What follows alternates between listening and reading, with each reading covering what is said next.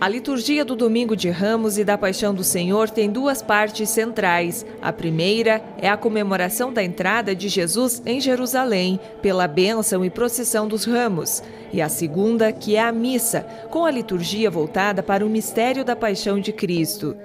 A Semana Santa, a época em que os católicos celebram a Paixão de Cristo, foi iniciada neste domingo de Ramos, 24 de março.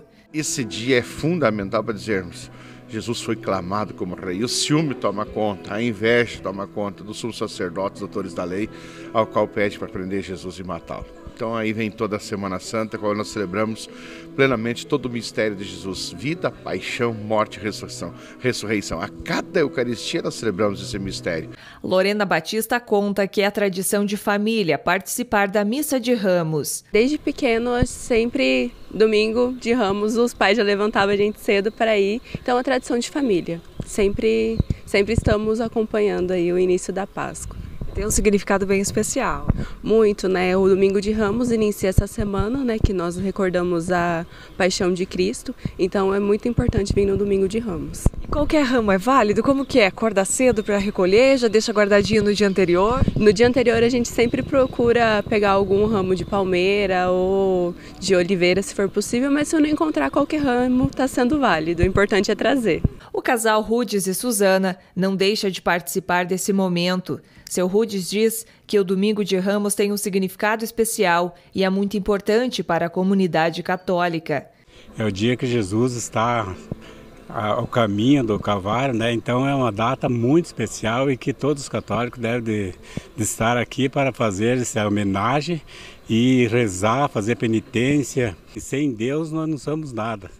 Na igreja, os ramos abençoados são guardados, depois de secos, queimados, para usar as cinzas no próximo ano, na celebração da bênção e a imposição das cinzas, que é o primeiro dia da quaresma no calendário cristão.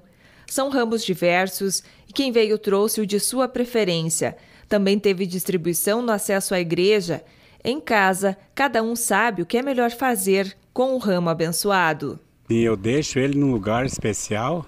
Quando dá temporal, é, a gente coloca ele, queima ele no, no, no lugar especial também, para que aquela fumaça vá para o céu e que a, a tempestade e ajuda. Para nós funciona, sempre funcionou, então ele vai num lugar especial. Quando começa aquele trovão, né?